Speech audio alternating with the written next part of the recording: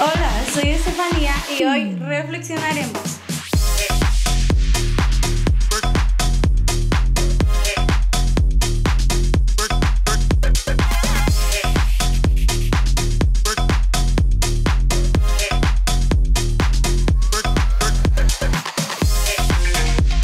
Será posible en cuanto cambies todas las formas negativas en que piensas y soltarás muchas formas musicales a tu instrumento musical.